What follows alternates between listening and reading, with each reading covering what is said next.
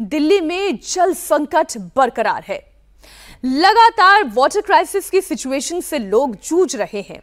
हरियाणा कहता है, पानी तो हम दे रहे हैं, लेकिन दिल्ली वालों को यह पानी मिल नहीं रहा है और बूंद बूंद के लिए दिल्ली वाले तरस रहे हैं। कई इलाकों में पानी के लिए मारामारी जैसी स्थिति है। एक एक टैंकर के पीछे लोगों की, दर्जनों की भीड़ भागती हुई नज़र आती है। सुप्रीम कोर्ट ने जल संकट पर आज सुनवाई भी तय की है। कल कोर्ट ने जल संकट के लिए आम आदमी पार्टी सरकार को फटकार भी लगाई। और आज पानी की बर्बादी, टैंकर माफियाओं पर एक्शन को लेकर डिटेल भी मांगी गई है। दिल्ली सरकार के मंत्री आतिशी अक्षरधाम इलाके में इंस्पेक्शन के लिए पहुँचने वाली हैं। पानी की बर्बादी कैसे हो रही है? पानी की चोरी को लेकर लग रही फटकार के बाद दिल्ली सरकार बैकफुट पर है। आतिशी एसडीएम और एडीएम के साथ इंस्पेक्शन के लिए पहुंचेंगी और अफसरों से मौजूदा हालात की रिपोर्ट भी मांगेंगी। सुप्रीम कोर्ट ने सख्त लहजे में सवाल पूछते हुए आम आदमी पार्टी की सरकार से पूछा है कि इतने दिन से जल संकट बना हुआ है, अभी तक दिल्ली सरकार ने क्या एक्शन लिया है? टैंकर माफियाओं पर अब तक लगाम क्यों नहीं लगी है?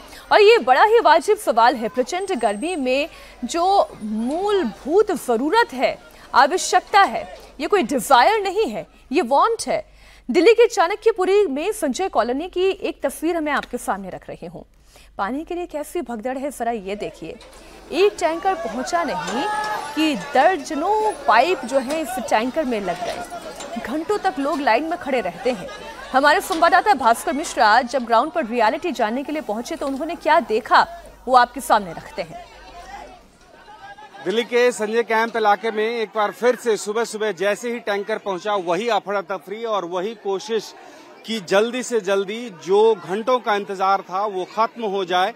जो लोग लाइन में लगे हुए थे पानी भरने के लिए, उनके परिवार के जो भी यंग लोग हैं, उनके द्वारा ये कोशिश थी कि जल्दी से जल्दी टैंक के ऊपर में चढ़ के उसमें पाइप डाल दिया जाए और बर्तन जितने भी हैं उसमें पानी भर लिया जाए। एक ही बार इस इलाके में टैंकर आता है, इसलिए सुबह के वक्त, कम से कम सात से नौ बजे का वक्त जो है, वो इस इंतज़ार में जाता है कि पानी कैसे इनके घरों तक पहुँचे। हालाँकि ये पिछले कुछ सालों में कोई नई तस्वीर नहीं है। इस इलाके में हमेशा इस तरह की परेशानी होती है।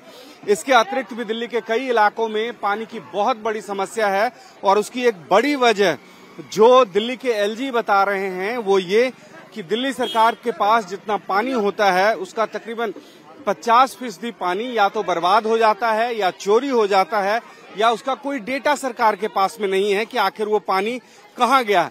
नहीं तो जितना पानी दिल्ली को मिलता है, एक हज़ार पाँच, एक हज़ार पचास एमजीडी पानी, उसको अगर लीटर के हिसाब से कैलकुलेट करें तो दिल्ली में जितने भी लोग रह रहे हैं, उनके हिसाब से हर व्यक्ति को हर दिन डेढ़ सौ लीटर आराम से पानी मिल सकता है। चाणक्यपुरी के लोगों से जब हमारे सहयोगी भास्कर मिश्रा ने बात की तो पानी के संकट पर उनका दर्द छलक पड़ा। रमेश ये बताइए पीछे जो टैंकर इसमें अलग अलग पाइप है क्या? एक परिवार के द्वारा एक पाइप इसमें डाला जा रहा है? इस तरह कोई नियम है क्या? सबने नियम नहीं वो एक दूसरे को दे ही नहीं पाते अपने बर्तन नहीं भर पाते इसलिए सबने अपना अपना खरीद रखा है। अच्छा। नियम वाली कोई बात नहीं है। अच्छा बहुत से ऐसी बहुत सी ऐसी फैमिली है जिसमें मेल मेंबर नहीं है पुरुष नहीं है उनको कैसे वो कैसे पानी भर अब उनका जैसे मेरा भर गया तो बच रहा है तो एक आध बर्तन भर दूँगा नहीं तो बेचारा खाली लेके जाएगा। और कोई इलाज नहीं है फिर मोती बाग जाएँगे बेगम जाति मार्केट में जो है वो ठूटी लगी हुई है लाइन की वहाँ से भर के लाते लोग। एक दिन में जो पानी की ज़रूरत है वो सब पूरा हो जाता है नहीं होता जी कहाँ से होगा? एक टैंकर अब आया है एक शाम को आएगा। दो टैंकर एक यहाँ आ गया एक उधर पल्ली तरफ़ आएगा उसमें जिसको मिल गया मिल गया नहीं मिला तो फिर एम्बेसियों से कोटियों से। एक ही टाइम यहाँ सिर्फ़ एक ही टाइम आता है ये अभी मॉर्निंग में ही आया है। बेटा कितने लीटर पानी भरा ये तीन लीटर है। ये दो दस इससे दिन भर का काम चल जाएगा? एडवांस में रखते हैं हम खाली। ज़रूरत पड़े तो हम एडवांस में बाल्टियाँ रखते हैं।